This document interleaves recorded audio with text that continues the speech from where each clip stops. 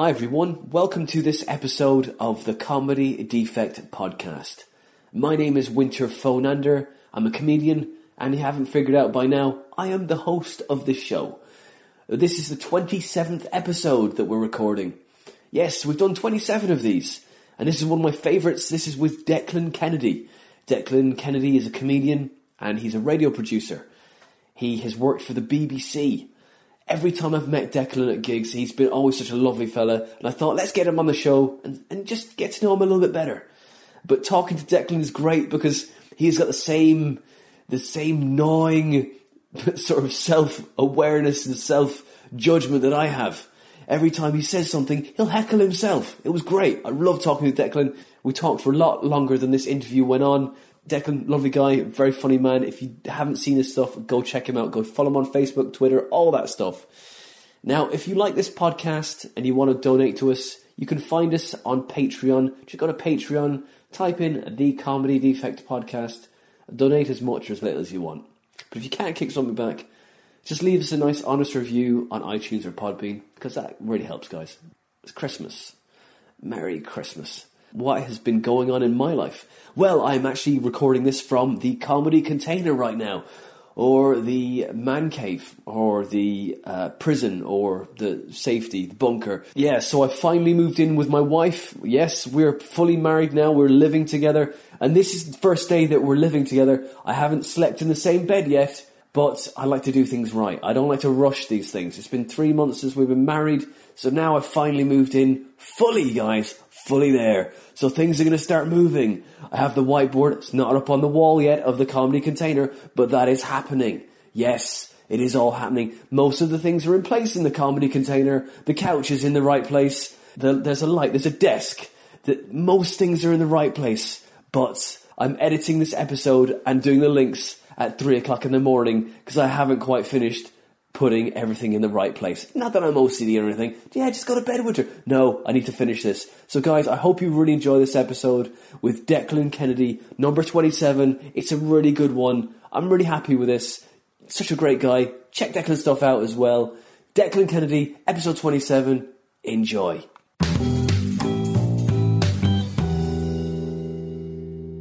So, Declan Kennedy, welcome to the Comedy Defect. Thank you very much for having me, Winter Fernando.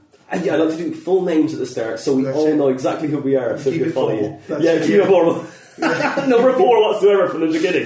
That's how I like it. Yes. So, so how are you anyway? Oh, I'm not too bad this afternoon. It's it's uh, it's uh, fairly calm. You know, uh, I always get that creepy feeling. Uh, I don't know about you. I get this feeling nowadays. The older I get, the more uh, you, you feel like relaxation feels wrong.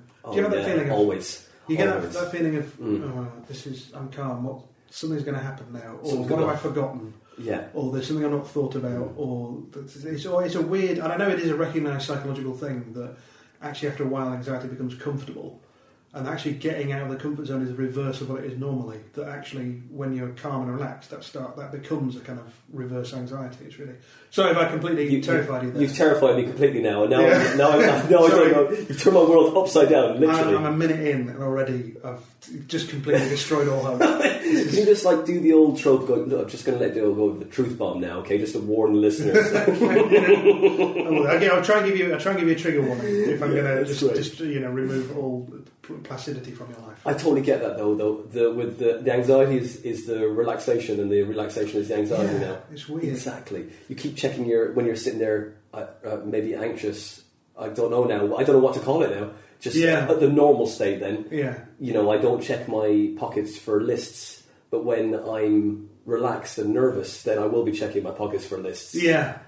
It's, That's right. do you ever feel like increasingly you think, isn't it a shame there's no one who can ask for permission Mm. to have fun?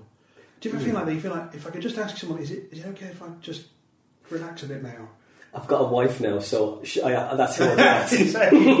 Okay. It's just that you feel like there should be, they- they're, they're almost like there should be an office or people wandering around in high vis tabards Mm, mm. going, it's, it's all right, yeah, just the next hour, don't worry. Yeah. Uh, yeah, relaxation, go. Yes, That sort of thing, like a clock. You know those drunk wardens that you Mm. see hanging around? Who- Oh. Have you never, you're not familiar with this? No. The concept of drunk warden, I think, is, should be, is, I mean, I feel like I'm putting ideas in people's heads if they hear this, but it seems like an idea that's so ripe for subversion Mm. by criminals that basically, I've seen it in action as well. I didn't know what it was when I was looking at it, but basically there is now. I'm not sure the volunteers are employed or what, but if you're planning a night out, Hmm. and now that I come to describe this this is a mark of, of how alcoholic Britain is, you can.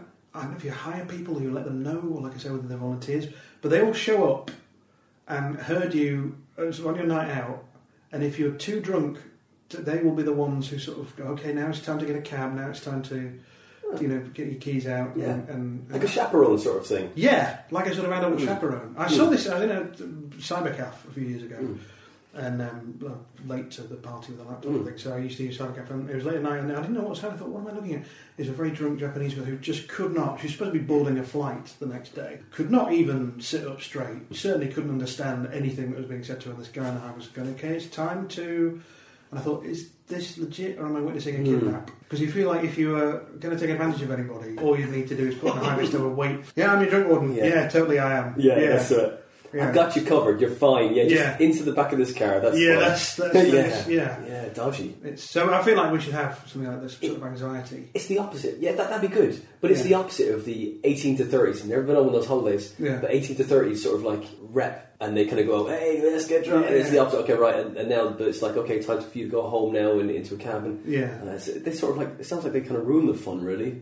you know, that's just the, I mean, not saying that, that's saying that, that, that poor, that poor woman would be like, could, could really be, you know, abused and whatever it is, you know, could ta- be taken down a really dark path. Yeah. But they that's the, just the time when stuff gets interesting. When you don't, what happened last night? I don't even know. Do you remember? Well, I don't want to know. Just do we have fun? Yes, we did. It was awesome. That's all you want. That's all you need. Mhm. yeah. I've, I've taken this down a very dark path very quickly. I'm very. Jaeger bombs, Jaeger bombs. So that'd be the time to go. Look, he should have like a bottle of Jaeger with uh, some Red Bull with him. Go. Now's the time for a Jaeger bomb. Off you yeah, yeah, yeah, yeah. That's it. He would have a couple in his pocket. Yeah. say, okay. to pep you up, isn't it? Okay, Yeah. look, you, you, you can't walk. You need something to just wake yourself up a little bit. There you go. That's it. That's it.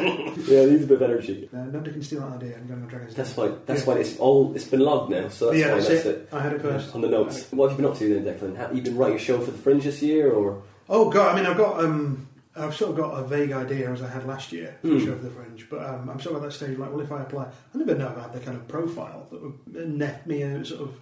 Uh, a, a, sort of good venue of time, you know. I'm quite Hmm. fairly low key as a comedian. I haven't really won anything particularly. Um, I've had I, my CV as a comedian just looks really odd. One or two minor sort of acting parts and things. yeah, Um, minor brush with, uh, with Yeah. success? That's it. No, Sounds no, like it's an injury, isn't it? Yeah. just that minor injury with it, Yeah, like yeah, uh, that's, you know. that's, that's it. Physio says I'll be back to back- to being a no hope soon therapy whatever. Yeah, Yeah. that's it. Didn't, didn't suit me. Didn't suit. That's No, it. no, yeah. that's it. But it, actually, think about the, the two times I've sort of popped up in people's things. You know, Comedy Blap when I was in Tim Renkow's pilot. Mm. Both times I've been fussing around a vehicle. So I'm kind of I'm sort of thinking, well, maybe that's my thing. Maybe in the De Niro of, of car boot Mm. acting. That I'm perpetually getting things out of car boots Mm. in other people's comedy programs. So Yeah. maybe, maybe, maybe that's my thing. I don't know. Yeah, get a van. Maybe get a van and Yeah, have a that's bigger part. That's it, yeah. Just expand it to buses, Yeah. planes, just unloading from ever increasing amount of vehicles, Yeah. Yeah. hardware, and, and you know, ultimate would be the sort of porter on the Starship Enterprise. Yeah, you've like you've got two jobs. You could take the kit there, and you could also be in the show. yeah, that's Yeah. yeah, that's it. I could uh, yeah, corner that market. So yeah, You're from Ireland originally, Declan, is that right? I'm of Irish descent. Hmm. So my dad's dad came Hmm. over from Ireland. Um, I'm not sure when, but presumably pre-war. Well, it would be pre-war. I think Hmm. My dad was born sort of in the last year of the Second World War. And what part? Uh, I, do you know what? I'm not in touch with my roots. I think Waterford. Oh yeah. I think well, I couldn't tell you that's. I'm probably think that's very central Ireland, Mm, yeah, it's, Waterford is like east side. east side, Mhm. right? Yeah, where the crystal comes from. Right. Oh yeah, yep, yep. I'm completely with you. Mhm. So, so I've, I've only ever been to Ireland once in my life after graduating university to Ballina, I think it was. All right, yeah. coast, yeah, which is Hmm. uh, a lovely place. And, um, Do you support Crystal Palace? I've, I've, I don't. I, do you know what? I'm the. I just don't have No any football. I'm no. not into it either. It's okay. No. We can we can cut this football conversation completely. it's. Yeah. Because it shows I I'm know- totally ignorant of football. I have no That's- idea. that's- I hate it. Was, was this? Yeah, we I actually. it. I, I can't. I can't. Well, football, the World Cup maybe just for like you know for, Yeah. for rivalry and the tribal sort of reasons. But like apart from that, no interest in it whatsoever. My dad is a big football supporter Mm. family. He's uh, Man City. Um, so obviously, yeah, he's had many, many years of penury.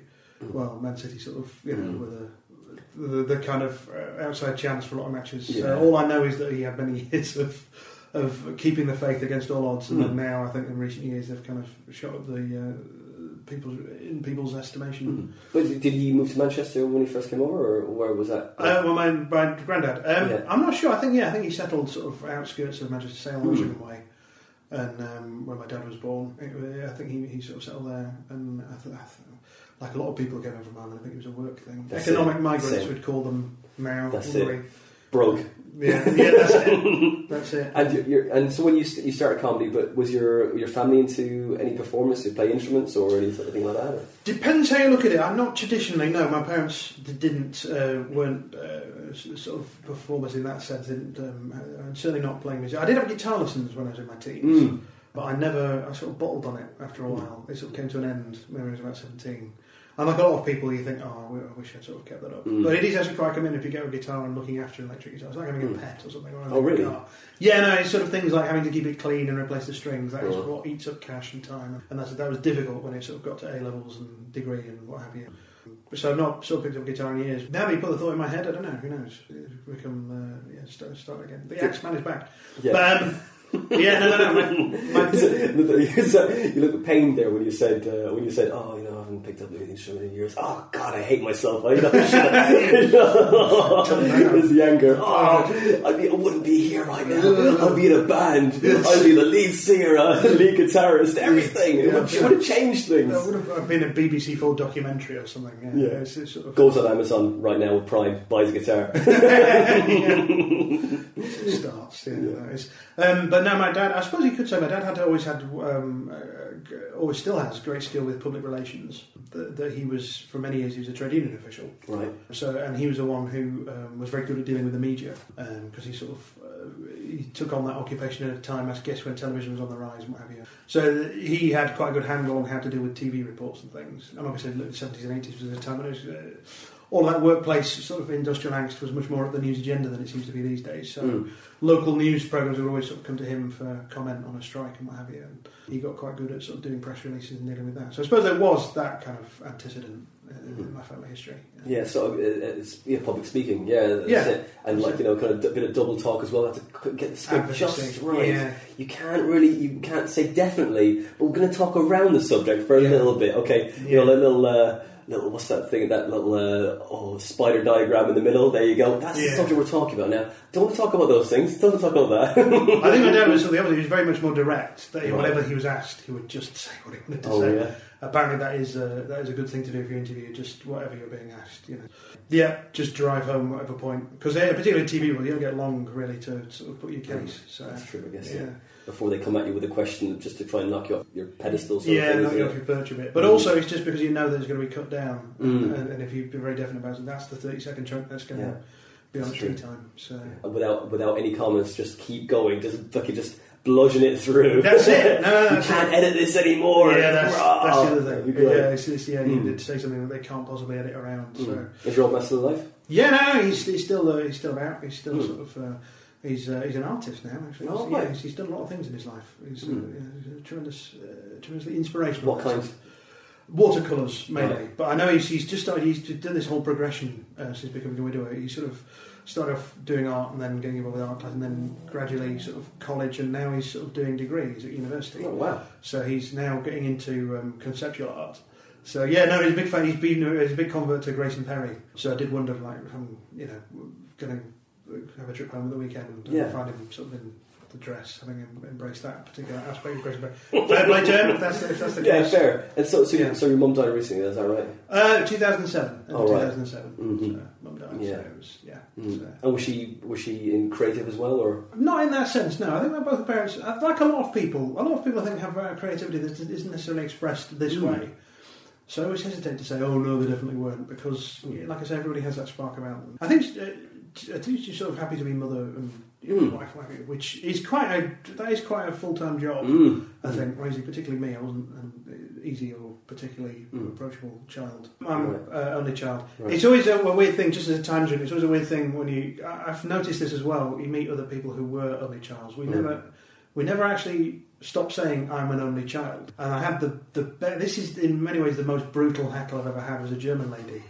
Who was, I, was, I did a bit on stage about this, and she just put her hand up. She was being, very, was being well-meaning. She didn't, you know, Mm. she wasn't in any way trying to derail me. She said, uh, "But at what point do you stop being a child?"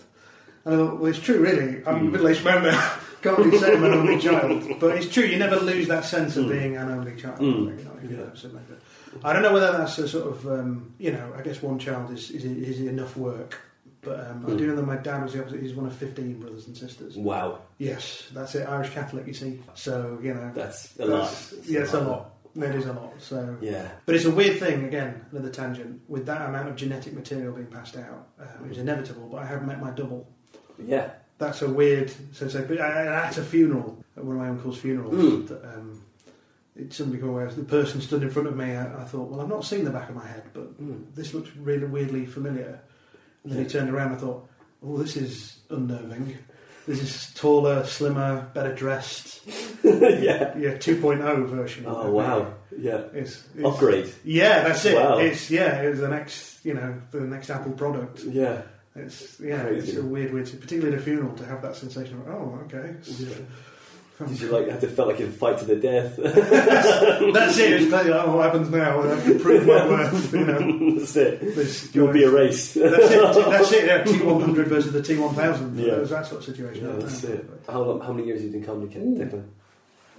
It's really quite a difficult question to answer because I've probably been doing it very slowly over a very long period of time. But I can never. I, I feel like stand up is a fairly recent thing. I've, I've had a sort of prehistory.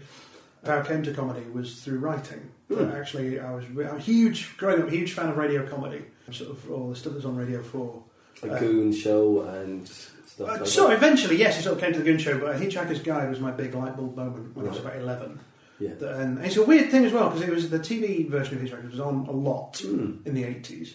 But for some reason, I'd seen it many times before, but I suddenly watched it at the age of 11 and it was like a, a thing, you know, flick. I suppose you're getting into puberty, you kind of, everything's Yeah. it's starting to change and mentally and physically you're sort of uh, on that cusp. Uh, suddenly, I sort of got it Mm. and I badgered my parents to get me the book. And on the cover of the old print of the book, it said based on the famous radio series, which was the first time I became aware that oh, there's there's comedy on radio too. So I went to, I think they repeated it on the radio a few years after that as well, and that sort of led me into the world of radio comedy. And eventually, uh, when I was sort of at university, that was one of my aspirations. That oh, I'm going to see if I can do radio comedy. I think that that's sort of the way that that, that is written anyway is very tangential. I think that being in your teenage years and reading that, it's like, oh, this is this is for me. This is like, Yeah, oh, that's it. duh. And like that bit, especially the the I read the book. I didn't see the series, Yeah, but that bit with the when that whale just materializes in space. yes, and it's co- hurtling towards the moon, and you're like, "Oh, this is totally, I totally get this." And then This is the brilliant, thought brilliant. process is so. I, I'm not going to ruin it for everyone who hasn't No. ever read it, but it's the funniest bit of that whole book. I was like, "Oh, that is that the Hitchhiker's Guide." It was brilliant. And, uh, you know, one of the bits. Uh, anyway, you know the bit I'm talking about. Brilliant. Yes. I cried laughing at that. that bit. was that was yes, that is easily one. Of, and I don't know. Again, I don't want to ruin it for. Um, can we have spoilers for something like this? For No, I know, but it is. uh, People will read it, and I, Yeah. I don't. You know, it's one of the best bits as well. Yeah, but I, I was I was very lucky actually because it was a very limited print run. I got a copy in my teens of the script book, the, Mm. the original radio scripts, which was brilliant because it had notes from Douglas Adams about the, the process of writing and recording the radio series, but also Geoffrey Perkins, who was a producer Right. who went on to become quite a sort of legendary figure Hmm. in broadcast comedy. But um, Douglas Adams talks about the origin of that character of the whale because he was always, always, always. uh, Have, he was always fighting off writer's block, and he would just inspiration he would just take from anywhere. And he talks about the whale being inspired by an episode of Starsky and Hutch, where like a minor character was just shot and nobody Mm. gave a flying one. Mm-hmm. And he said, "I'm going to write a minor character and make people care about his death." Totally. And I'm going to make it a whale because no one will mourn a human being.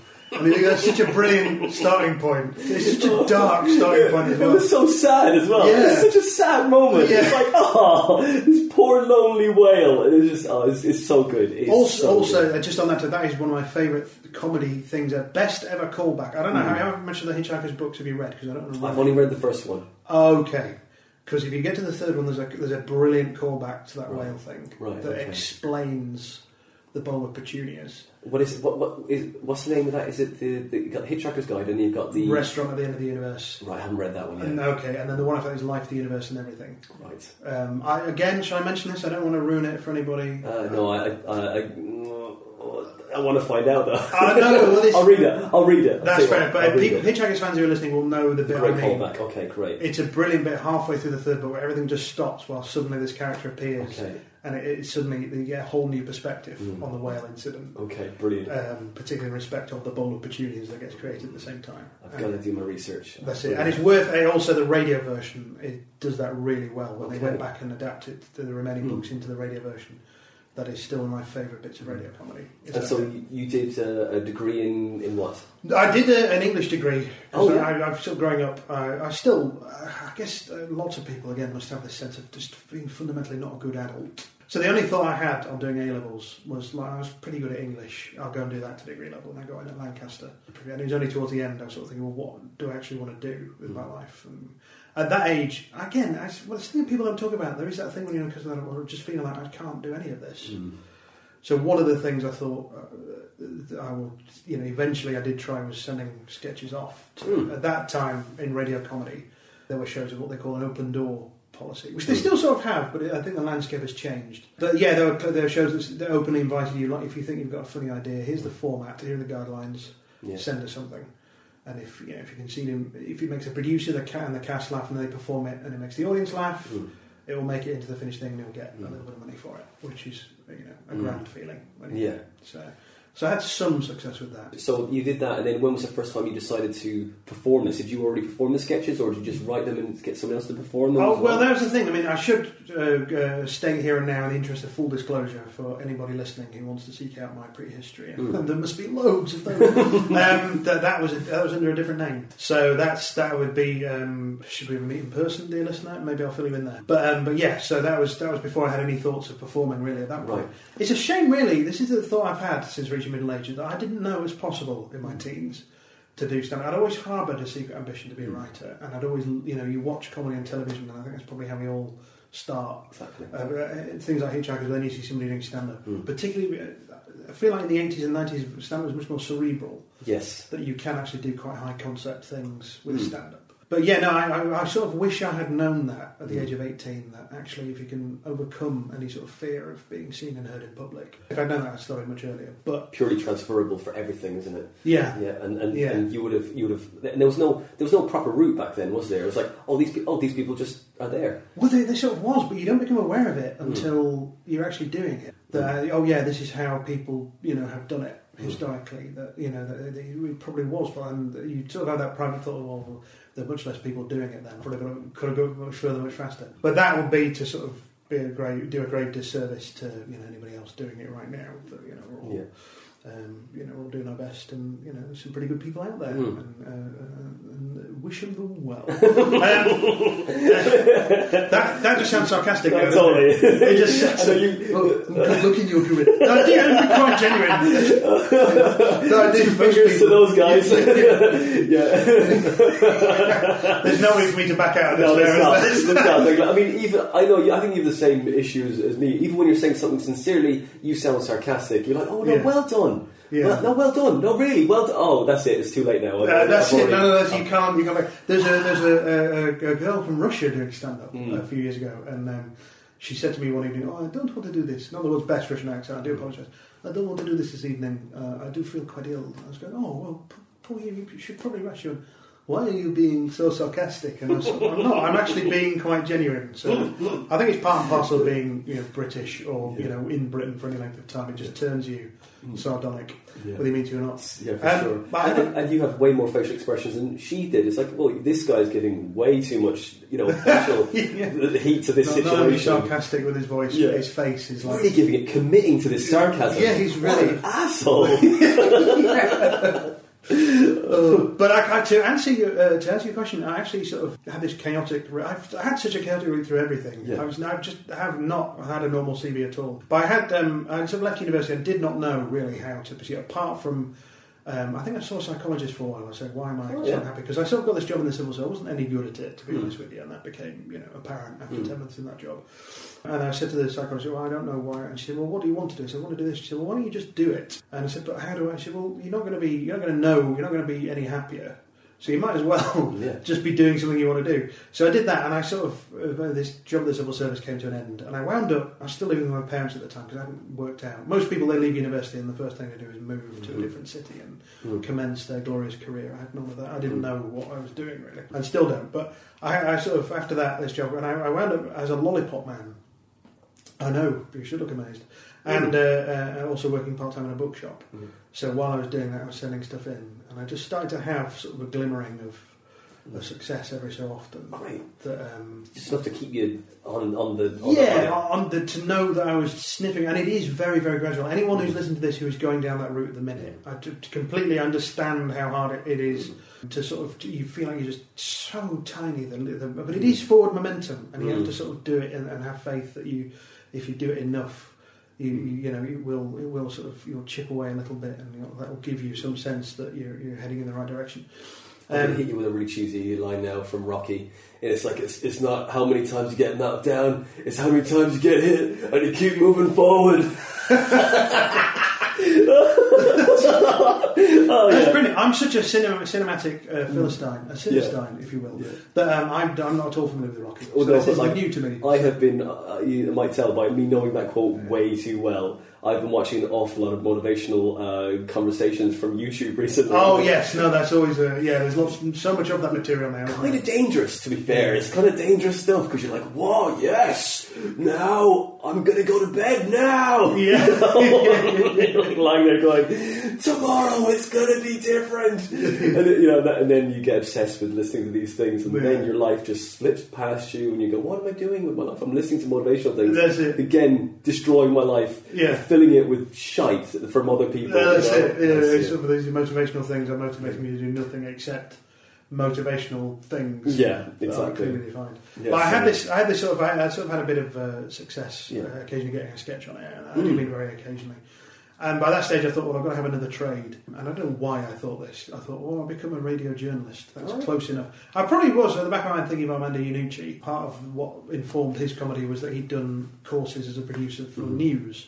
Mhm. And obviously, from that sprang On the Hour day to day a completely new way, really, of doing comedy. So I did, that. I did this postgrad at Preston. And within a week of starting it, I knew, like, this is a hideous error. And my parents were helping out. Very lucky that they're helping out with the fees at the time. I said, this, you know, to them, and, and they said, "Well, we paid for it now. so you're going to have to do this for a year." yeah. But off the back of that, and I was, I was a, dr- I was a lousy journalist. I have Right. to say, to the point where they used to have these training days where they do a kind of a day of news, effectively. Mhm. And, and you know, people are very ambitious. And I, I remember having to sort of be the senior news editor, and I got walked all over because people just did not, you know, Mhm. think I had any authority. Right. But I do remember that I was so useless. One day they put me on the traffic.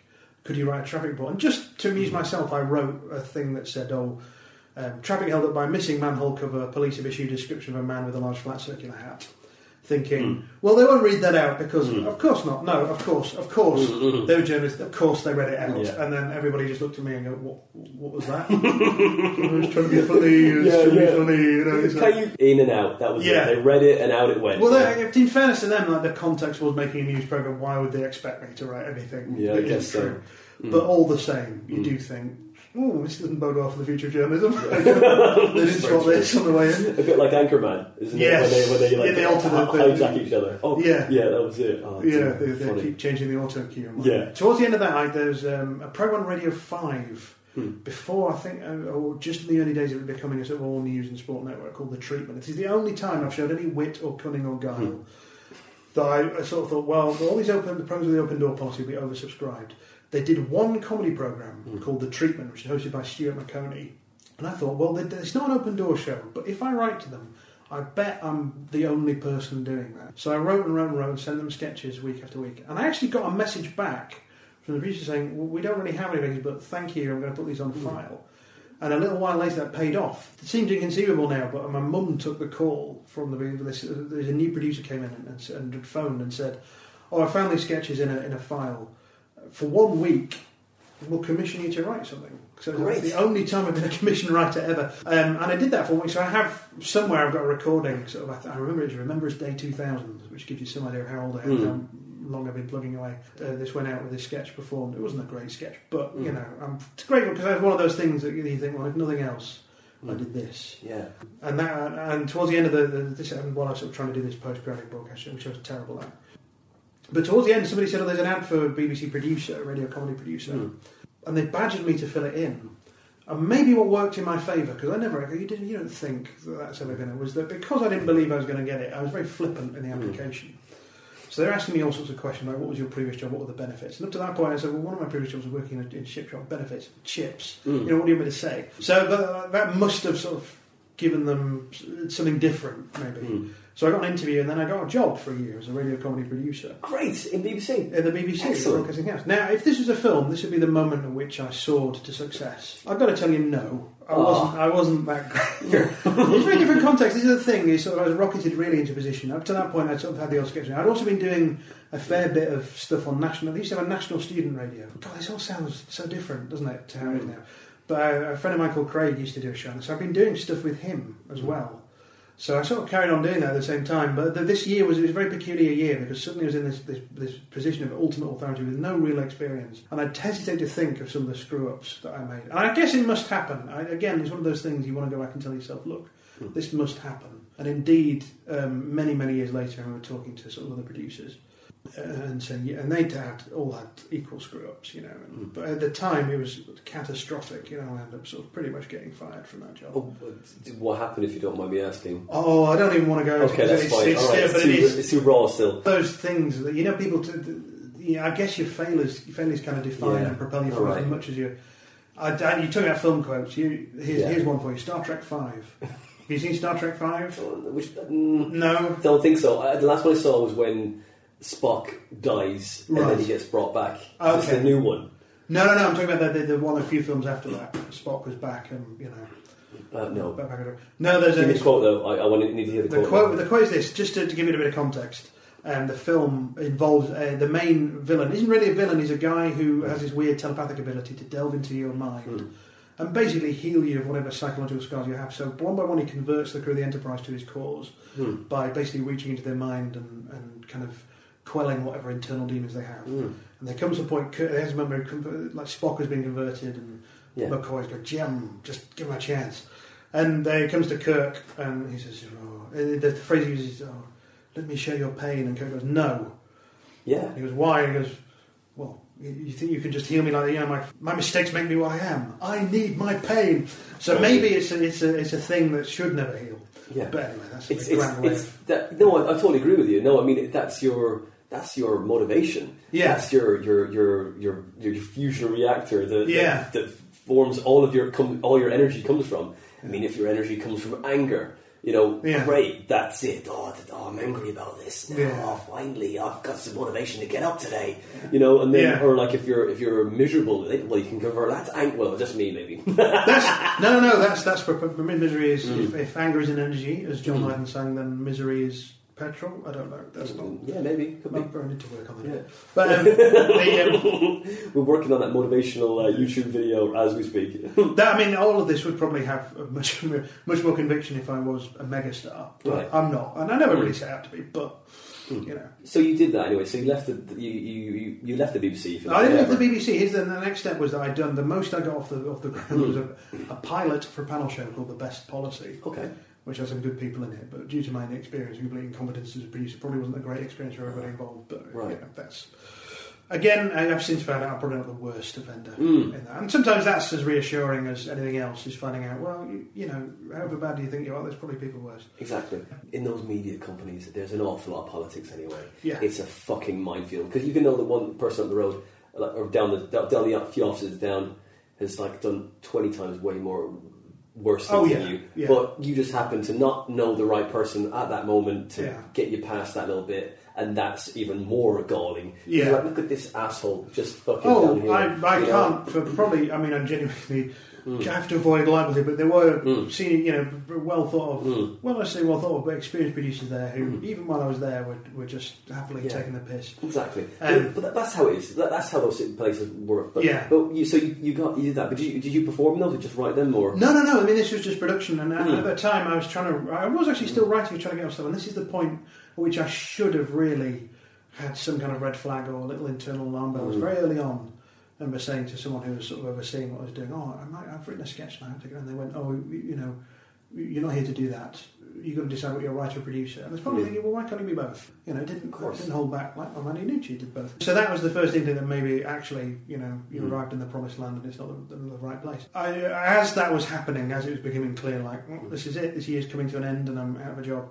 Somebody said, "Oh, there's a job going at um, it was called Network Z then, a station that eventually became BBC Seven, which begat BBC Radio Seven, which begat Radio Four Extra, and I, I sort of uh, wound up just there. Just kind of, I went and had a word with the, the lady who's in charge, a very nice lady called Mary, who uh, I'm very grateful because she didn't have any reason. I didn't really do that great at, at presenting. It wasn't so great at presenting myself. She took a punt on me uh, when she had no reason to, and I wound up sort of there till May of last year. Oh, so wow. I, was, I, I sort of was there, and eventually I did get to produce things and Mm. make things. Not at the same pace. That was one of the things you sort of that year the, the Mm. radio for, uh, to radio comedy was the, the, the pace was, seems quite furious, and it's Mm. only with the benefit of hindsight you think, well, that, it might have been good to, to, to sort of be working at that pace just because, you know, the more you do it, the more Mm. normal it becomes. So I sort of wound up kind of, I guess that was a good place because I have this sort of, even now, completely obsessive interest in Mhm. radio comedy. So for an archive station, which is what 4 Extra is, Yeah. that was a really good handy little repository of knowledge to Yeah. have and over the years that sort of built up and uh, and actually I got to work with some people that maybe I wouldn't have got to work with had I Mm. stayed at Radio Comedy so I did actually wind up meeting Armando Iannucci and, and um, Yeah. uh, all sorts of people and, and to, particularly towards the end Did when you did you fangirl him? I didn't do you, what do I say?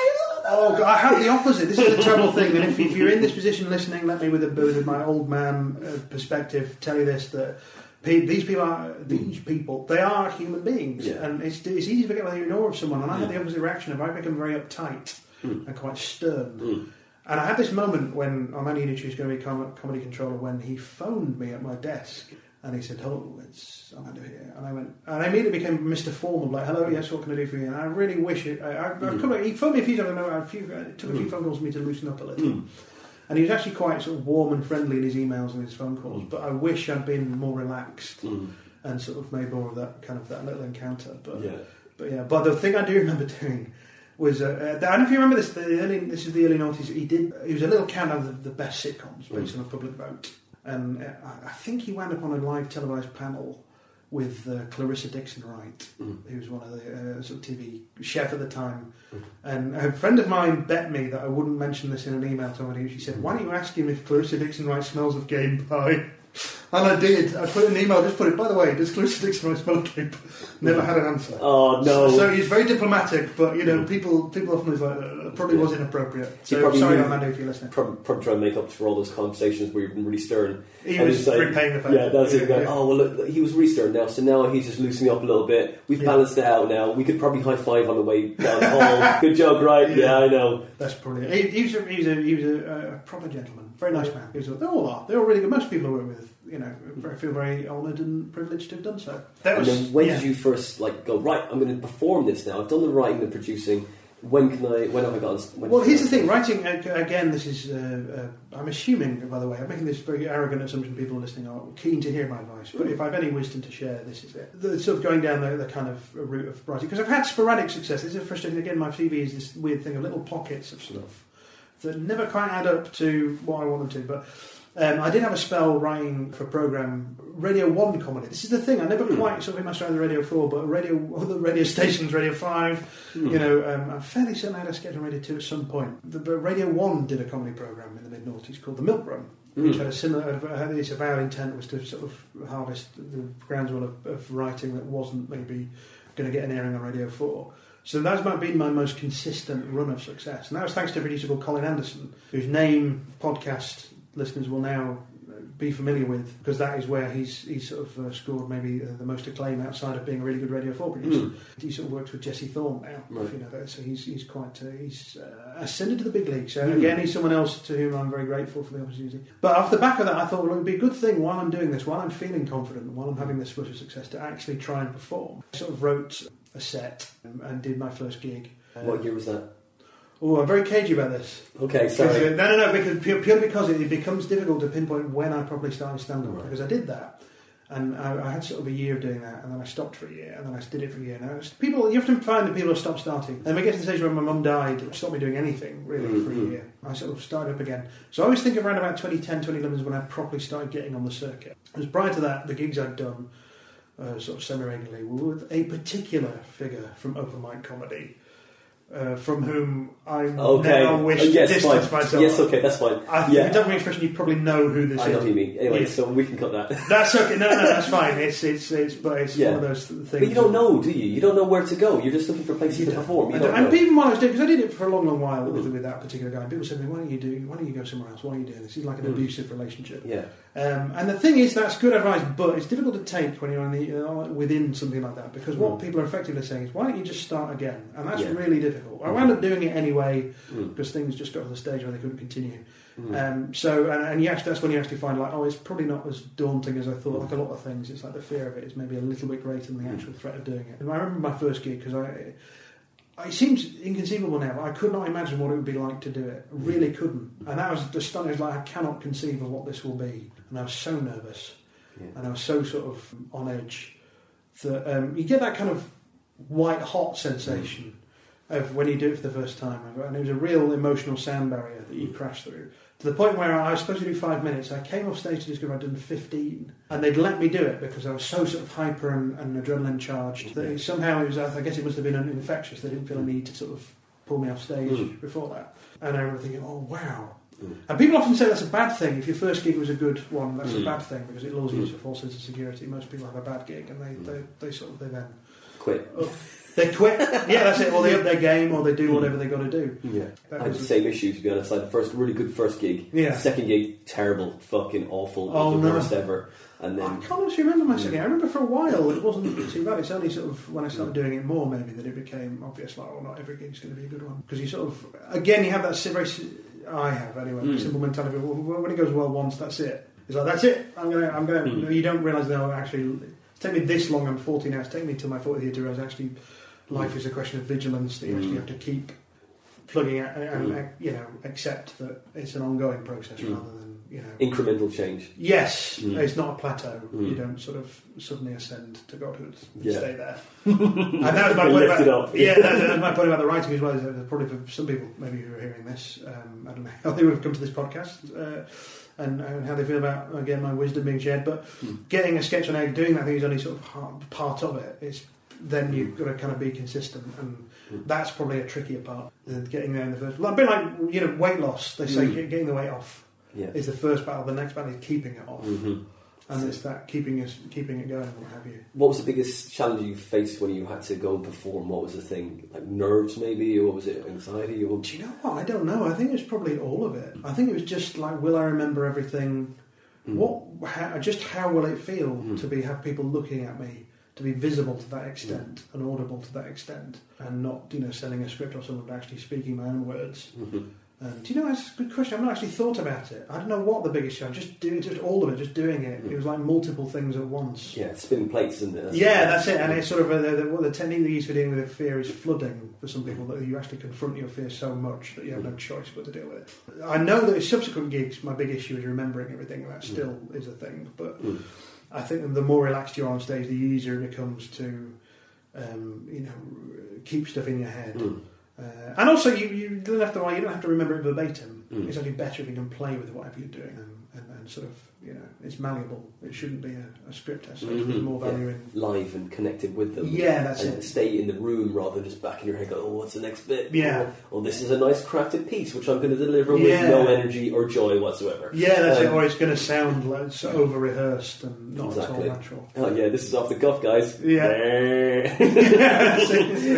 As my eyes roll back in my head like a zombie. Yeah. And, and so, how many shows have you done now, Declan? Oh god, I don't know. I don't know if I've ever started counting, but if you top them all up, it must run into the hundreds. I, I mean, it's like I mean, like, but it, is it? I mean, it's in fringe shows. You've been Oh, fringe how shows. many times now? And you other festi- done other festivals around No, the I country haven't. as That's well? the thing. I'm sort of. I still feel like I'm at the beginning, really, of, of all of this stuff. That it's the Hmm. more you do it, the more you realise how vast a distance you have to cover and how many steps that will take. But I've been. I, I don't know if I've ever actually done a show. I've been part of shows. I think Hmm. last year and the year before, the closest I've come to sort of doing a thing on my own. In that I was doing a three-hander in 2015 and a two-hander in 2016. Mm. Um, so those, that's again, that's another step of being slightly more visible, slightly more Mm. connected to what you do. Um, to what you do. Not that I wasn't connected before, but a little bit more. Like, well, I'm responsible for the well-being of these shows, and which is a learning curve in itself. Doing an actual show on my own, I don't know if I'll ever be ready for that. but- So you did two hander last year. yes, Oh, this year. Sorry, This year, I think of it's it- really- no, I always think of it as you know, school year. Edinburgh is the end of the year. Mm, Yeah, mm. it's like a tax thing, isn't it? It's like, oh, that's it, it's over, the year's That's over. it. We're just coasting now till December. And you said you had a problem with the name earlier. Oh God, yes, we were talking earlier on, weren't they? That Mm. um, me and Matt Duell, with whom I was Mm. doing the show, had settled on the title "Too White, Too Furious," but then we realised on the app that would shorten down to "Too White," and we we realised we'd probably get. Shall we say the wrong audience? That's, although, as Matt has pointed out on stage, who knew that would be the growth market Yeah. in 2016? There you we go. could have been coining it in now. Why don't you just do it next year? That's That'd be perfect. It's like, like, you've got another maybe four, maybe eight years to do that show. yeah. That'd Yeah, get get get get some of that uh, that supremacist dollar. But so in, in the end, we went with niche rebels was the Mm. one we, which was one of our second choices, I think. Which I'm, for, but I'm quite pleased with. Mine it was my idea. To, Mm. That was my phrase. That was mine. What I room, did that. what room did you have this year? This year we're in the 48 below bar, which is a very nice place, but it was quite far out. Right. Which were, which the learning curve. You always learn something different each Edinburgh you do. Mm. But this, the learning curve this year is on the more practical side of things. Uh, Not that our, the, you know, any comedy doing is perfect, as as Mm. we've said, it's an ongoing process. But that was more a factor this year, a thing of realising, oh gosh, we're quite far out. And that, the reason maybe people aren't turning up to see this is because it's quite a commitment. So to any again, anybody who's listening who, who came to see the show, thank you so much. Because it was real. It was 17 minutes walk, I think, from the middle of Edinburgh. Wow. So the fact that anybody showed up to it is probably quite a, Yeah. thing in itself. So you know, thank you to uh, the, the handful of select people who saw it. I think there were days when it was more of a comedy lap dance than it was an actual show. It's- Isn't it that every night, really, though? to an extent. Look But- at me. Here's the real me inside. This- As you take the layers off. But you know, there's there's um, there's striptease and there's a private booth and there's uh, yeah, There's there's, doing it deftly and there's just rough and ready, isn't it? Yeah, that's it. That's it. There's That's a personalised service again. But you know, we're grateful to people. For, you know, the, the, the audience of two. You know, Mm. that we had from time to time was was uh, equally as welcome. You have a show in the in your mind at the moment. I mean, it's in my mind. It's not anywhere else at the minute. And are you So- going to do a two-hander this year as well, or are you going to do a full show? don't, you know what? I don't know. I don't know that I have any. And again, I don't know if I have the kind of profile that would warrant. Again, the, the learning curve from last year was like, oh, unless you're very well known. Mm. We were out near um, the stand, and uh, Oh. our thinking on June, sort of accepting the venue was, oh, well, maybe we'll get some of the Overflow. overflow from Mm. people. But actually, you know, unless you are Stewart Lee, when they Mm. have Stewart Lee nearby, why Yeah. would you come to? And the largest largest audiences we had who enjoyed it were people, you know, who'd come, who'd shown up on the app Mm. when Stewart Lee wasn't doing a show Oh, that kind of thing. Mm. So in that sense, we were quite justified. Matt had a really good instinct for that, but uh, again, it was a it was around home. Well, you, you're not Stewart Lee, Mm. so you know. So whether I've got the enough cachet and pull yeah. Uh, to to sort of be able to make that bold kind of move of, of here's a show all about me yeah. is uh, is a Mm. whole thing. You've done loads of writing then. You've been a producer, writer, you know, you're performing. You're writing stuff now that is more, is it is more heartfelt or for the fringe stuff? Because it's separate, isn't it? You've got your stand up and you've got your fringe, right? I guess so. I don't know. I sort of one tends to bleed into the other for me. I'm not yet at the, the stage where I've, I've done a sort of fully formed show or anything, so I Mm. tend to think in just in terms of sets and what have you. But Mm. I don't know. I, I sort of I've had moments on stage where I've talked about me and stuff that I've done or stuff that you know has happened to me. But I I don't know. Here's the thing. I mean, uh, comedy has uh, it seems to me anyway. This is purely from my perspective. Has moved towards more a sort of. Uh, I don't want to say identity politics because that sounds uh, quite a dismissive phrase, and, I, and it is a good thing because it means a lot of disenfranchised people Mm. are, um, you know, gaining a voice, and they're Mm. doing it through comedy, which is the best way of doing it, Mhm. and they're really, really good at it. Some excellent writers and, and what have you. But I always think, like, as a white middle class man, I'm actually quite boring, as you're finding out. Um, No, and- not at all. No, uh, uh, and I sort of think, well, how much, how much uh, of value is it for me to talk about? I, I'm again, like I say, I've got a very singular CV, very singular upbringing. It seems to me, I've not met many people who sort of uh, nothing stunning, but uh, again, I feel often that I'm. I don't really. the mundane. You, feel that you're not, not not enough. uh, Well, not even that. It's just yes, I have uh, had very singular, like I say, very unique. If you can be very unique, unique. I'll free phrase that.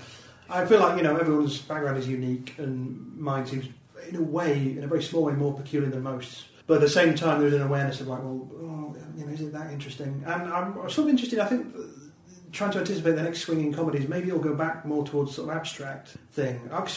It's weird now. I never thought it would. Uh, you always think the things you're enthused about when you're young will be there forever, but it feels a lot like we've moved away from sort of the Chris Morris thing. Of I don't know if you remember Jam or Blue Jam Mm. radio, where it was brilliant comedy, but it was so sort of abstract and cerebral.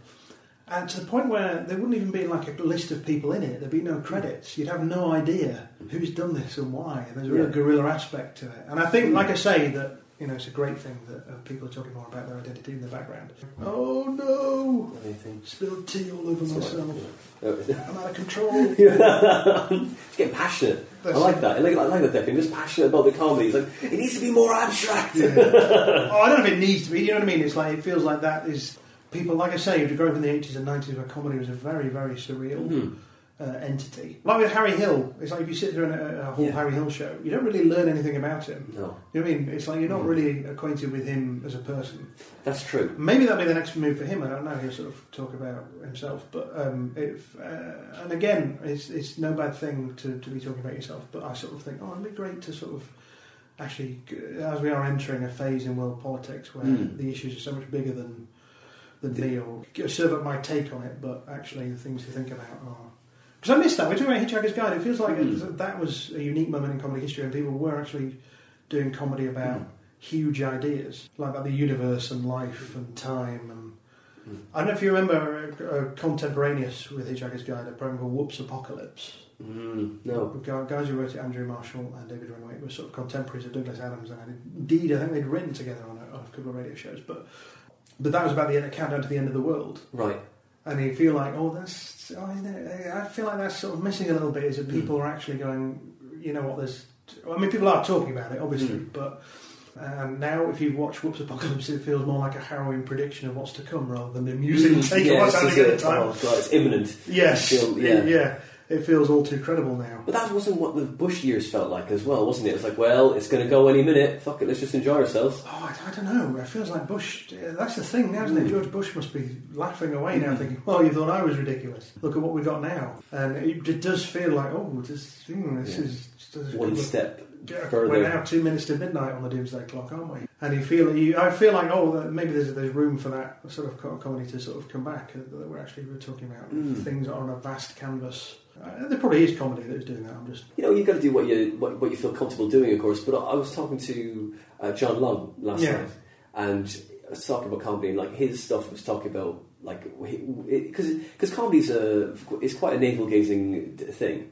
You know, like uh Yeah. you're kind of oh, how do I think about this? Okay, this is how I think. This is how this is present. Do your thoughts connect with my thoughts? Okay, we're, we've found some common ground. Great, let's unpack this a bit further. Oh, maybe I've showed you some things that you haven't thought about Yeah. because of this yeah. which is hopefully which is most of what comedy is because that's where you get laughs is with the connection and the and the comparisons and the, the and the agreement yeah. isn't it it's oh I agree laugh great okay that's Yeah. normal great okay I thought I was just weird no that is normal or that is That's it. yeah Yeah. you're getting someone's perspective Mm. on something, and that is certainly for modern comedy. That is what makes it funny. Yeah, is suddenly seeing things in a new light. and that stuff with like political stuff is fine but it could be quite it can be quite preachy as well can it it's like oh, well this is what it is it's a big idea Yeah. which is fine if you can deliver it deftly but sometimes they don't want that from you do they Yeah. They, they see you and go, you, you look like this kind of person, so we can't take that from you because you, you're not maybe one old enough. Two, your look is just not the correct style that we would expect from you. This is too jarring. Oh, I can't listen to you. Yeah. Do you know what I mean? Which is Yeah. what you know. I, I'm not. sh- But again, it all takes practice, and, and I mean, yeah, I'm, I'm, like I say, I'm just thinking this out loud now, but yeah, it's so you're trying to find that that voice of yours on stage. Then really, the Yeah. moment. that's what you're Yeah. looking for. You're looking for that, that thing that's Yeah. is most definitely you. I, I feel like I already have some kind of identity, but I, Mm. I tell you, I'm not one for sort of.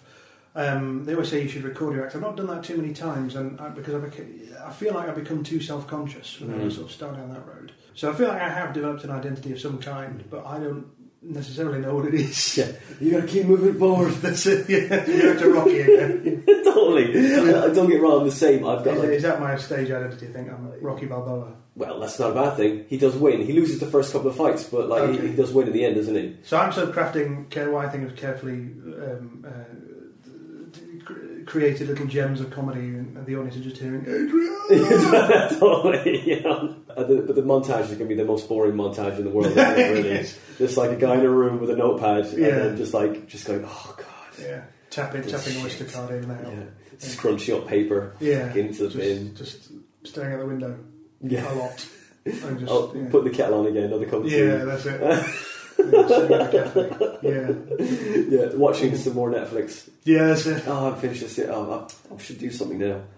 Ah, fuck it. No. yeah, That- that's something to eat. yeah. I'll, I'll, I'll have another. I'll have another podcast. I, I just, yeah, I just finished the bottle. Yeah, Yeah, that's yeah, it's uh, yeah, no. So I, I, I feel like I have some sort of identity, and I hope I've got some sort of identity. It feels like I have uh, some kind of style. What have you? you think sometimes that you don't have an interesting identity when, and you're like, we've got the same, all got the same perspective on this, haven't we? No, No, We do yeah, not. that's true. Actually, we, yeah. we, we definitely don't. Uh, Because when you like, br- sometimes when you, the highlight of that is when you do a new material and I go, do you not all think this? And everyone goes, no, we fucking don't I, think I that. had that very experience on Monday night where I think because I was riffing off the back of something another actor had said about, um, isn't it great, isn't it? And it was a brilliant bit of material. I think it was Lee Kernan did a brilliant thing about the one thing. He was talking about identity politics. He's saying that, that now we're sort of, people are flagging up their identity much more. But isn't it isn't it a great thing that we all go to the toilet? Which is something maybe the starting point of many people. But he, the way he explained it was like, you know, you're with your friends and then you do this ridiculous thing, go into another room. I won't give you the whole material because it's, it's Sure. his joke and it's better if you hear it from him. But off the back of that, I said, oh, I just want to build on something Lee said. Is there anyone else think sex is just a terrifying thing? People looking at me blankly. I was going, you physically merge with another person. Does that not give anyone else the screaming heaves? And like I said, the audience has one man go, nope. We, we like it. There's like, oh, okay.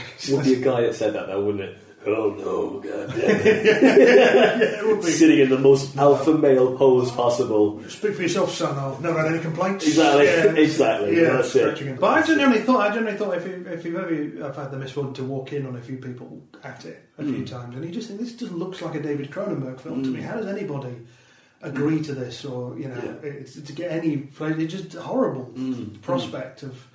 But again, I have to accept that um, I'm singular in that department. So you know, But that's even better. That's that's even that's good too.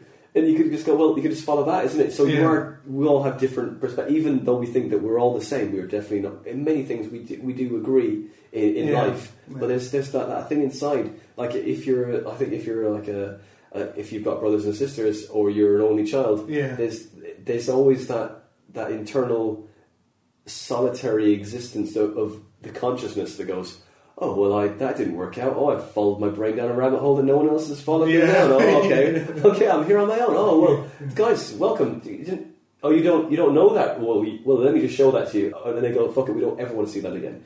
yeah, yeah, which is fine. But then you have to learn to kind of uh, Yeah. the, the, the intricacies of like working out how what what I was saying earlier, like what motivates you, what what is the thing that just kind of just galls you or, or it gives you joy.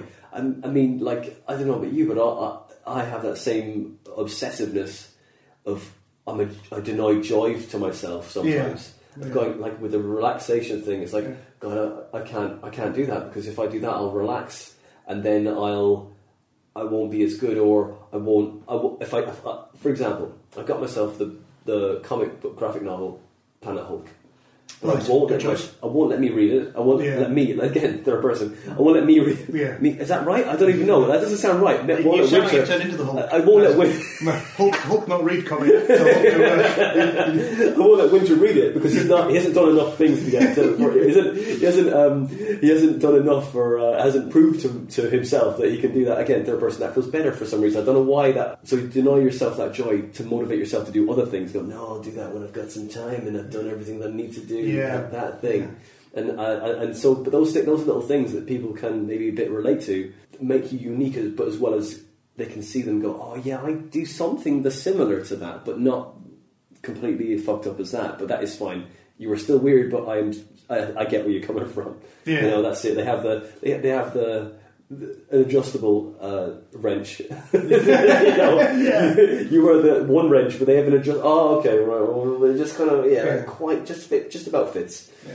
Um, yeah, that's it. So I don't know. I'm, I'm No, no, no. I, I think I'm going. Uh, yeah, because uh, as you were talking, I was realising that um, ideally, you'd want. I think most people aim for sort of a synthesis of the personal and the Mm. abstract, and that's certainly what I would like. You're talking about what. Motivates you. I think I'd love to be a fusion of Harry Hill and Oh yeah, and amazing. Mark Steel, Mhm. who's another comedian I sort of admire. Mm. But you know, they seem like sort of very different forms of. But what if you could bring the two together? Mm. And I realise I put myself in exalted company there Mm. alongside Douglas Adams. I don't for one second pretend I'm that good, but it, it's, it's something to aim for. Mm. And I, you're talking about, you know, if there is an identity to go for, like what as a middle class, uh, middle aged white guy can I say? And I think the one thing that's come out of recent political developments is how much I feel like a cuckoo in the nest. Mm. I feel like a, some sort of weird imposter because suddenly I don't know what your politics are, but I feel like I thought, and I was, you know, I've always had that sense of not being in step, and Mm. why should I be, and why should anyone agree with me? You know, why so? What, what, what's the thing? Yeah, Why, why, but- why not in step? Is it- well, because I feel like most people, certainly on the political spectrum, are have a vastly different opinion from me, and that's fine. That's as it should be. But But I, I, sorry, what's your opinion? My opinion, Yeah, what's I'm sure it's no great shock to anyone that I'm left wing, but I do feel like oh, the, the last few sort of major events we've had politically have rammed it home. Like oh, I'm you know Oh, I'm yeah. definitely at odds with most people. Mm. Um, and uh, do you ever watch Humans? No. Oh, Haven't right, seen that yet. enough. No, no, no. I can't. Yeah, I feel like I'm, well, this is a reference. It won't mean anything. Go, to no, I'll have to watch it now. you. Yeah, it. No, no, no, it's a great series. I've but, lost six months now. but I feel like I am a synth, right? a synthetic. And that, you know, I look like them and make the same noises, but there's some sort of uncanny valley thing where people go, well, "You're not one of those." That's the outsider thing, though, of, Yeah. of, of the writer and the, the solitary existence of a, of a comic as well, isn't it? But it is just ever since I was a boy, and I guess that's what fuels people to do comedy. And you sort of wouldn't like so many people feel that way. Is there an actual normal? Is there anyone who actually feels normalised? And probably not. But I do feel like, Mm. particularly, what motivates me is I am so far apart from Mm. people around me Mm. that um, that yeah. That, uh, I'd studied A level theatre studies. Bertolt Brecht. I'm going to go proper Mm. chin strokey on your ass now. Yeah. But the very, he did a Bertolt Brecht um, there was- came with the concept called the Verfremdung effect, the alienation effect, where you make people look at familiar things in a new light. Hmm. And the example he gave, which always tickled me, was um, instead of we all know what a car is, but you could describe a car as a windless aircraft that crawls along the ground. Mm. And I've always thought well, that that is a good that is a good comedic sort of instinct Mhm. that if you make people look again at something that's familiar, I don't know. That's I don't know if that answers your question. I know, but like, you're trying to, you're, you're sort of just trying to place people apart. You're like just change your perspective on life and- and sort Yeah. of come at it from a different way. But you're talking about like uh, being an outsider and how that is. I think that's that's related to every everybody really to a greater Yeah. or lesser extent. But Yeah. we all feel that we're outside. But I think the thing is about comedians is they admit it. They Yeah. and Yeah, they go, yeah, I'm, I'm definitely a fucking outsider. And if you're in a, in a comic room full of comics, go, yeah, I'm an outsider. Everyone goes, I'm an outsider. too." but it goes back to the thing we were talking about before of, uh, of um, we were talking about nerds. Just before recording, where like we, we felt like, well, with, with, you know, there's a lot of people who have, you know, there's a lot of people maybe who are taking comedy because it is entering the mainstream as a thing to do. Mm. It's a good thing, but you do sometimes feel like people are putting it on a little. Mm. That there's people who go, oh, I'm such a nerd. I've, I've, I've read Harry Potter, and you think, Mm. no, it's not a nerd. You know what I mean? If anything, that is actually quite n- usual Yeah. for people. Lots You're- of people have read You're a Harry Potter. fucking norm. That's what you Yeah. are. You're a norm. You're not a nerd. Yeah, The same amount of letters, but you're a norm. Okay, that's it. That's what you are. Yeah. You have normalness. That's it. Just exact like everybody get up the same time as everybody else. Got to work nine to five, nine to six, maybe nine to six. No such thing as nine to five anymore. It's bullshit. no, that's it's true. eight to eight to six usually as well, isn't it? That's what it is. Oh well, I did. I mean, most of the BBC, it was ten till six. Oh, it was yeah, right. slightly easier. Yeah, that was. Oh, uh, yeah. So that- that so that- TV license money. Ah, That's yeah. that sweet TV license that's money. it. yeah. That's that's the thing. I, I always feel like I'm conscious of that. I always have to spell out to people. Oh, I did. I did try and work hard. I wasn't earning mega bucks. It's comfortable, but Yeah. you know. I didn't pay for my TV license. I brought my TV in and I watched it there. So fuck 'em. That's it. Get me now, bastards. The team go. Um, that's it. This whole thing has been a sting to catch you with. Don't have a Um, TV. See, That's it. don't have a TV. You don't have a TV. That's that's, it. that's true. That's fair enough. I had to sell it. Well, it's weird. I moved into a place where I haven't got a TV. Yeah. So any time I've got the option, like I was stopping at my dad's house, suddenly I've got, oh, I can watch Dave Channel again. But yeah, you talk about the, the nerds and the uh, how like everyone is like.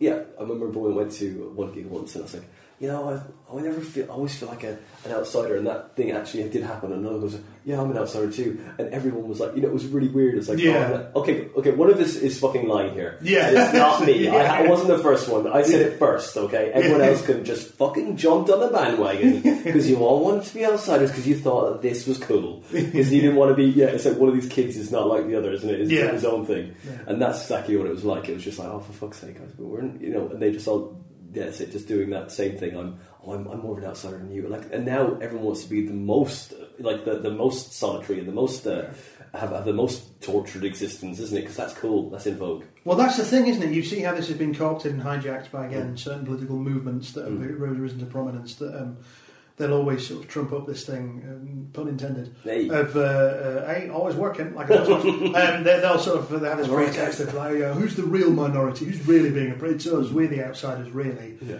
And and somehow that you know, if you're an immigrant or whatever, then, then somehow you're part of this this wave of oppression that's actually you know depriving people. And you think, well, you can't you can't be both. You can't be in the majority and the minority. Mm. You know, you can't, you know, you can't, you can't sort of say, well, there's, you know, they come here and, but, and there's more of us, but yet somehow we're the minority. It just, It's- It's not an American degree, okay? You can't major in one thing and then minor in the other. that's it, you can't.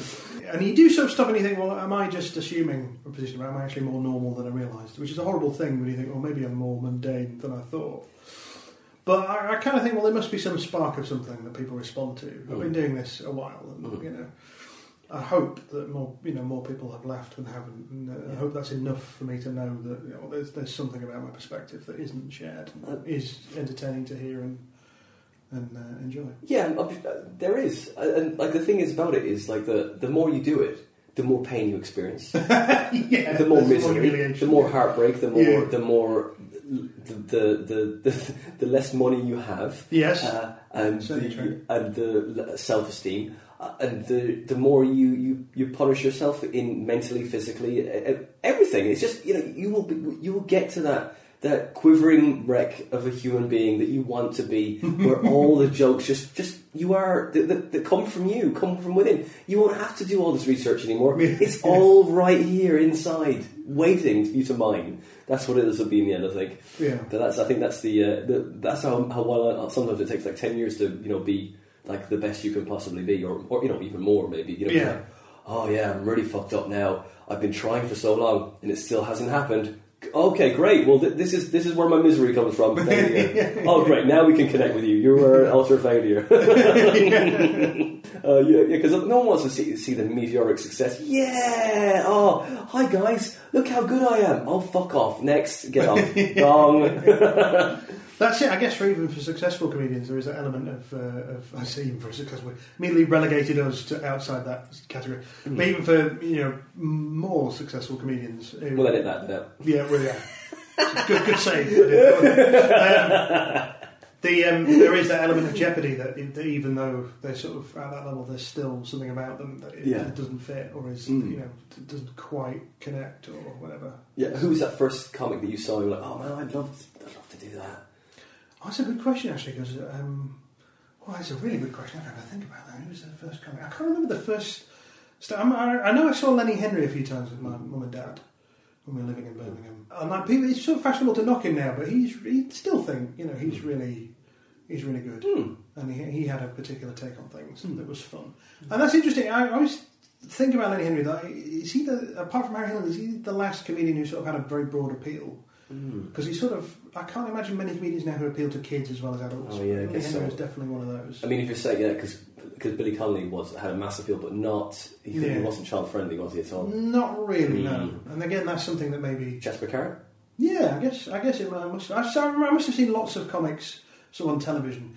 I did. There's one comic who um, a certain generation of people, I think, people of my generation may remember him. Something called Roy J. This is the early '80s, Hmm. um, and this only came back to me recently. That um, and if I describe him, probably lots of people go, "Oh yeah." That this was sort of on the cusp when comedy was just sort of changing. We're talking like sort of 1983 thereabouts when alternative comedy was just becoming known as a thing. So that happened in the late 70s. Yeah, sort of Alexei Sayle and what have you. Mm-hmm. But Roy J was sort of one of those people who's in between. He was kind of he was weird enough that you could imagine him on the alternative circuit, but somehow he was always popping up on like Bob Monkhouse show and things like that. But his shtick was he sort of dressed in a, a very stereotypical convict's outfit Mm. with sort of the arrows and the, the gloves, and he had this weird sort of demeanour where he was always kind of writhing, and he sort of came onto a song and he's like, "Hey guys, Mm-hmm.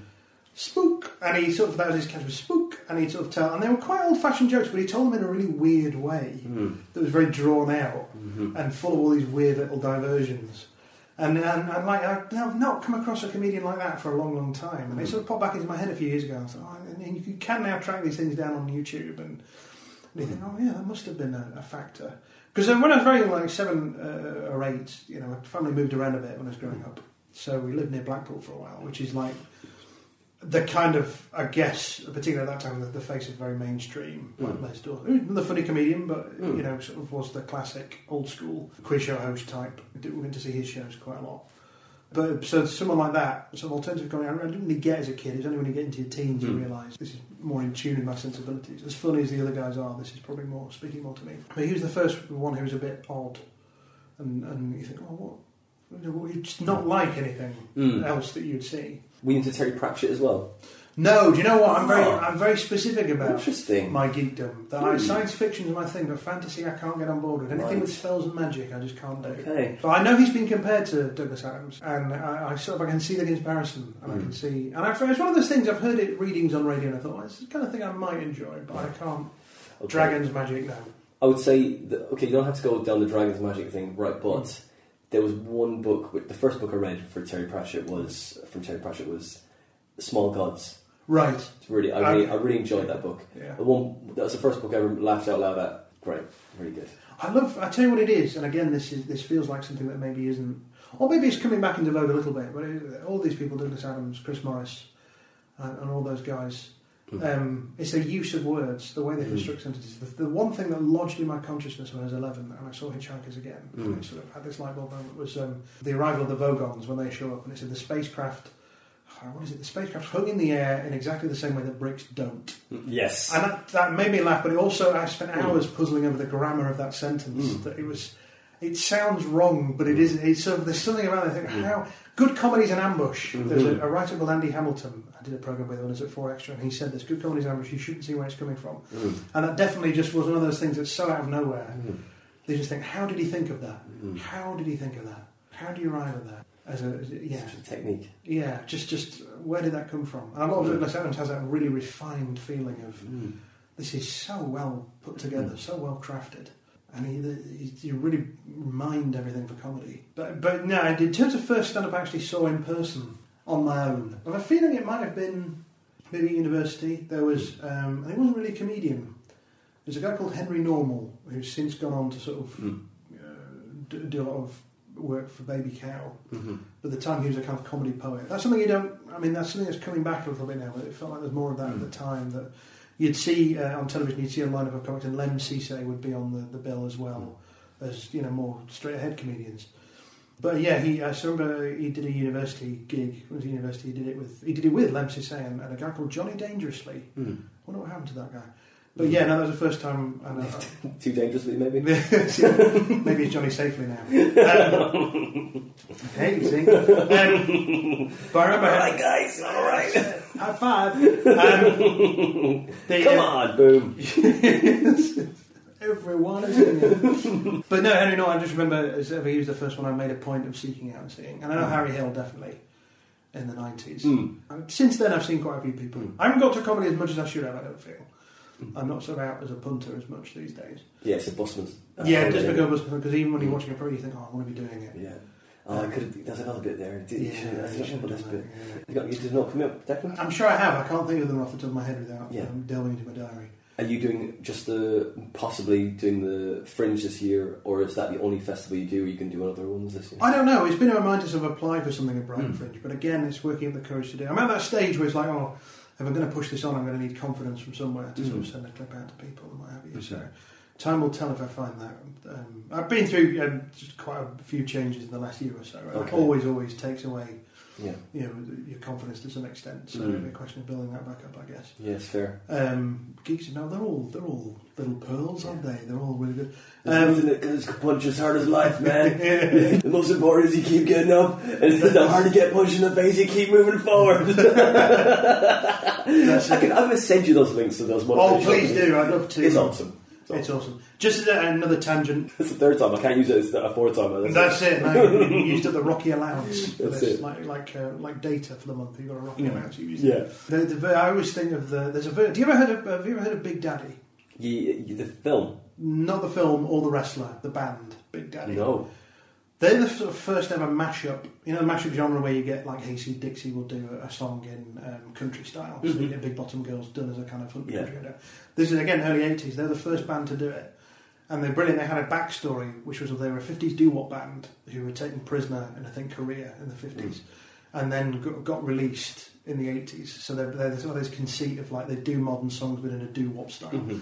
But if you seek out their version of uh, Eye of the Tiger, Right. well, they take this very macho, testosterone driven anthem and turn it into a very pleasant, easy listening sort of experience. Ruining it. yes, really. Oh, it's brilliant. It's a wonderful, wonderful idea. That's it. Just, taking, just, Uh, just yeah. castrating the song. Yeah, completely, let's they turn it? it into this sort of a cappella thing. Oh, that, um, no. that is- but it's, it's funny, but uh, I'll check, horrific. that, I'll check that out then. Big Daddy, yeah. Big Daddy, I'll send you the link.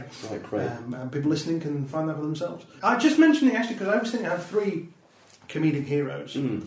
And I thinking about it. None of them are stand-ups, and I think that's something that's again. I don't know what how other stand-ups are writing their material, but you feel like it's it's something that maybe doesn't happen as much as people bring in the high concepts from other sort of forms of comedy. It's good.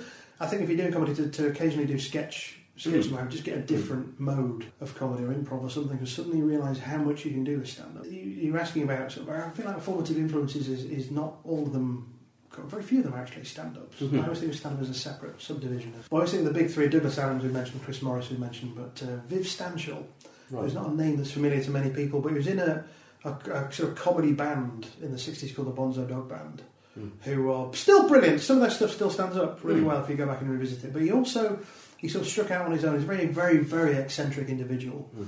Again, if you're listening and you want some sort of uh, links to stuff, uh, up on YouTube, he did a thing called Viv Stanshall's Week, which is like a one-off special Mm. which is just it follows him around in the mid in the mid seventies, sort of, and it gives you some flavour of what he's like. Very very English eccentric, very Mm. posh sounding. But he again he had a, a real take. He did a thing called uh, when he left the Bonds, it was called Sir Henry Rawlinson End, Mm. which is a brilliant sort of monologue come story about this horrible aristocrat Mm. who's just everything that's repellent about the English upper class. Mm. And uh, he did oh, some of that is so beautifully described. Again, the use of words is so wonderful, beautifully described. Like Sir Henry had breakfast, and when he broke a fast, you cursed double glazing. So economical, so brilliant, you know, just Mm. vivid. Mm. Sort of up there with Mervyn Peake as sort of use of words and what have you. So, Yeah. So that's the mission this year, just to kind of like get things back on track and stuff. And and what I don't know, I feel like I project. I mean, I- do you do? Sorry, do you do, uh, lots of questions here, but that's right. do you do? Do you like you start talking about improv? Do you do acting as well, or do you? I don't know. Like I say, I've had a couple of acting roles by accident, really. People I've gigged with in the open mic circuit have sort of come back and said, I'm doing this thing, could you do this wee tiny thing in it? Mm. So, and I always feel like that's, that, again, if I was a slightly more together person, um, for Hitchhiker fans, someone who knows where their towel is, I would, uh, I Mm. would sort of maximise on that. So maybe that's the next step is actually being like a grown up, having a Mm. plan. Or happy. I don't know what my mission statement is at the minute. It's, Mm. Like a lot of us, I'm juggling sort of work, stand up, Mm. and trying to find time to sort of calm down and rest a little bit and Mm. give myself a license to do that. TBD. T, T, To be decided? To be decided. Maybe. I don't know. I don't know what to tell. TBD. Lots of acronyms. Fuck it, I'm just gonna have it. Right, right.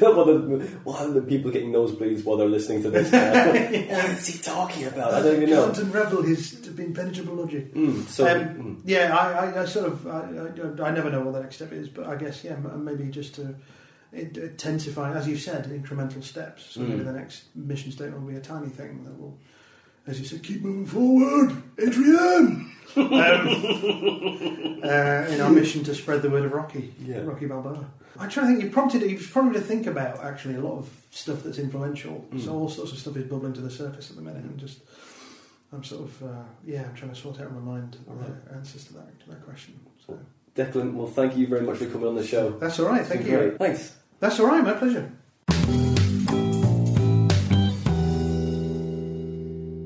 And that was episode 27 with Declan Kennedy. Go find him on Facebook, go follow him on Twitter. Actually, just go see him live, because that's where comedy lives. Next week, we've got Matt Haas for episode 28. Matt Haas is a promoter. He's just done a master's in comedy, so I talked to him about that. Uh, I really like Matt. He's so self aware for such a young man and a very funny comic. So that's episode 28. Now, if you like this podcast and you want to donate, just go to Patreon, type in the Comedy Defect Podcast, and donate as much or as little as you want. But if you can't kick something back to us, guys, it is Christmas, just leave us a nice, honest review on iTunes or Podbean, because that does help. If you want to follow us on Twitter, we're there at the Comedy Defect. If you want to follow me, it's at Winter Phonander. I'm also fully moved in to my wife's house now, so that's great. I'm in the comedy container, so I will be cracking open that tome, the Guinness Encyclopedia, and I'll be tearing through that, rinsing that for as many Guinness Encyclopedia jokes as I can possibly muster.